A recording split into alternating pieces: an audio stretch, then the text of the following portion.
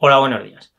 Voy a actualizar la situación de Catenon para ver qué hacer con las acciones tras los últimos resultados que ha tenido.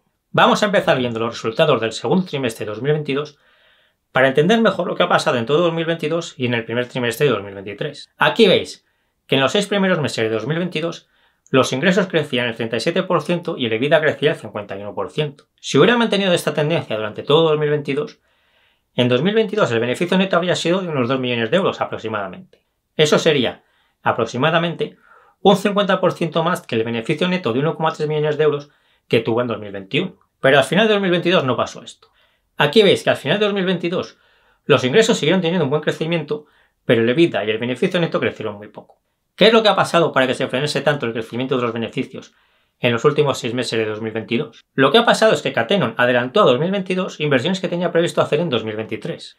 Las adelantaron porque creen que el negocio va muy bien y que es mejor hacer esas inversiones cuanto antes. Las inversiones que hace Catenon contablemente son gastos y por eso reducen el EBITDA. Es decir, cuando Iberdrola compra una empresa en Estados Unidos, por ejemplo, el importe de esa compra no es un gasto y no reduce ni el EBITDA ni el beneficio neto, sino que se refleja en el balance, no en la cuenta de resultados. Las inversiones de Catenon son, fundamentalmente, contratar a más gente, y eso contablemente se refleja como un gasto que reduce el EBITDA y reduce el beneficio neto. Así que a final de 2022 Catenon tuvo un beneficio neto bastante más bajo de lo que podíamos esperar en el segundo trimestre de 2022. Pero realmente la situación es mejor porque lo que está haciendo es adelantar inversiones porque cree que así va a crecer más en el futuro. Os he marcado en verde la subida de los gastos. Veis que los gastos de personal crecen el 30%, el gasto en tecnología se duplica, etc. Si Catenon lo hubiera hecho en 2022 las inversiones previstas a principio de 2022, entonces, en 2022 habría tenido un beneficio neto más alto, pero habría frenado, algo el crecimiento de sus beneficios en los próximos años. Así que creo que esto debemos verlo como algo positivo, porque aunque el beneficio neto en 2022 ha sido más bajo de lo que estaba previsto, el motivo es que la empresa está creciendo más rápidamente de lo que se esperaba. En el crecimiento de Catenon, los empleados más importantes son los que llama Revenue Managers. Estos son los empleados que usan la aplicación de Catenon para hacer la selección de personal que es el negocio principal de Catenon. Cuantos más revenue managers tenga Catenon, más factura y más beneficios tiene. Lo que ha hecho en 2022 ha sido básicamente contratar a más revenue managers de los que estaban previstos a principio de 2022. Esto es lo que ha aumentado los gastos y ha hecho que el beneficio neto crezca poco en 2022. Y esto también es lo que debería aumentar el ritmo de crecimiento a partir de ahora. Una inversión que hay que comentar es la compra del 40% de la empresa francesa Scale You Up. Esta empresa es mucho más pequeña que Catenon. En 2022 ha tenido unos ingresos de 1,7 millones de euros y tiene 35 empleados. Está especializada en el RPO. Os explico lo que es. La selección de personal tradicional se hace puesto a puesto. Por ejemplo, Danone quiere contratar a un director comercial y lo que hace es contratar a Catenon para que le busque una persona para ese puesto. El RPO consiste en externalizar de forma total o parcial el departamento de recursos humanos. Por ejemplo, Danone contrata a Scale para que en los próximos tres años le haga las funciones del departamento de recursos humanos de Danone en Francia. Generalmente esta externalización es parcial, pero si funciona bien se puede ir ampliando. Por ejemplo, inicialmente Scale se encarga de encontrar todos los puestos de trabajo que necesite Danone en los próximos tres años.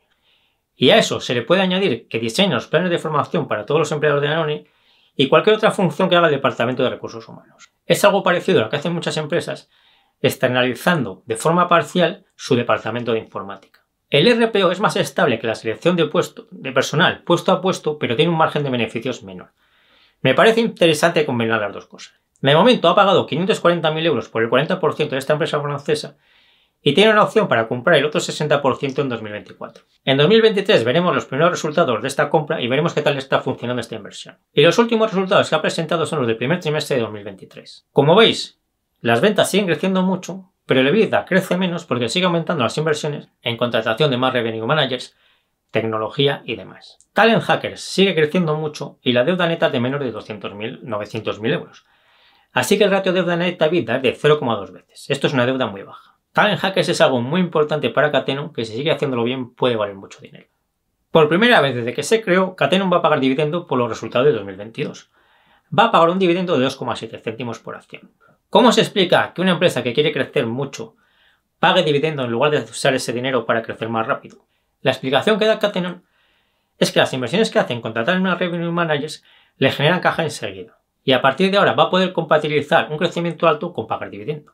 Esto lo explican en este gráfico en el que comparan el primer trimestre de 2023 con el cuarto trimestre de 2022. veis que las ventas crecen el 29%, más o menos el mismo crecimiento que hemos visto en las comparaciones anteriores. Pero el EBITDA crece el 236% porque los revenue managers contratados en 2022 ya están empezando a generar beneficios. ¿Qué beneficio neto puede tener Catenon en 2023? Proyectando el crecimiento que llevaba del beneficio neto hasta el segundo trimestre de 2022 y teniendo en cuenta el EBITDA del primer trimestre de 2023, nos salía un beneficio neto de unos 2,53 millones de euros. Si en 2023 también adelanta inversiones, entonces el beneficio neto será algo inferior a eso por los mismos motivos que en 2022. A día de hoy creo que podemos hacer una estimación de unos 2,5 millones de beneficio neto en 2023 que estaría muy bien. Fijaos en una cosa importante, muy importante, y es que Catenon empieza a tener tamaño. 2,5 millones de euros es muy poco dinero si lo comparamos con los miles de millones de euros que ganan las grandes empresas. Pero tened en cuenta que en 2019 y 2020 Catenon aún perdía dinero, así que el salto que ha dado en pocos años es muy importante. En 1,40 euros Catenon capitaliza 26 millones de euros. Así que, si en 2023 tiene un beneficio de unos 2,5 millones de euros, en 1,40 euros el PER 2023 sería de unas 10 veces. Si Catenon sigue creciendo a estos ritmos del 40% o 50%, entonces un PER de 10 veces es muy barato. Como ya sabéis, no podemos saber si Catenon seguirá creciendo a estos ritmos o no.